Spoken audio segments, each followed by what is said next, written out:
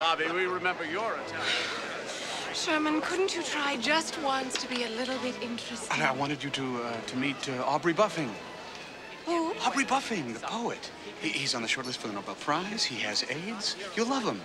Sherman, we are standing alone in the middle of the room, a married couple talking to each other. You simply don't do it. Now go and mingle. Please. And even when repentance is offered, he refuses.